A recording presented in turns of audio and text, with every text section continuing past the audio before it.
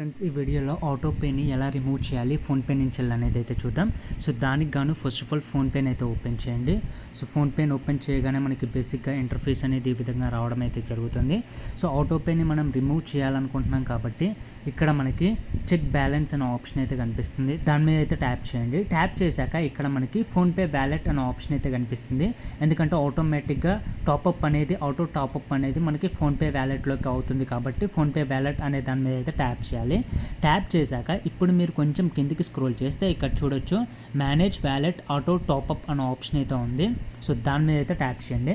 Tap చేయగానే ఇక్కడ యాక్చువల్గా మనకి స్టేటస్ అనేది యాక్టివ్లో ఉందా పౌజ్లో ఉందా ఆటో టాప్అప్ అనేది ఇక్కడైతే చూపిస్తుంది. అండ్ ఇక్కడ ఒక చూడొచ్చు when balance goes below four hundred ఒకవేళ ఫోర్ హండ్రెడ్ కంటే తగ్గితే ఆటోమేటిక్గా ఆటో టాప్అప్ అయితే ఇదైతే చేసుకుంటుంది అనమాట సో దీన్ని మనం కనుక రిమూవ్ చేయాలనుకుంటే కొంచెం పైకి స్క్రోల్ చేస్తే ఇక్కడ మనకి రిమూవ్ ఆటో టాప్అప్ అనే ఆప్షన్ అయితే ఉంది. క్లియర్గా చూడొచ్చు. Last option.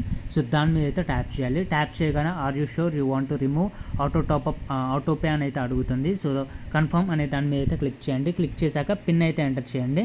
So pin enter చేసి మళ్ళీ కన్ఫర్మ్ చేయగానే auto pay removes in progress అని అయితే పడ్డది. అండ్ ఇక్కడ చూడొచ్చు మీరు క్లారిటీగా రిమూవ్ అయిపోయిందనమాట సో ఇక్కడ చూడొచ్చు. ఆటోపే హ్యాస్ బీన్ రివోక్డ్ అని అంటే రిమూవ్ అయితే అయిపోయిందనమాట సో ఇట్లా మీరు ఆటోపేని అయితే ఫోన్పేలో రిమూవ్ చేయొచ్చు. ఈ వీడియో కనుక మీకు యూస్ఫుల్ అయినట్లయితే లైక్ షేర్ అండ్ సబ్స్క్రైబ్ చేయండి. Thank you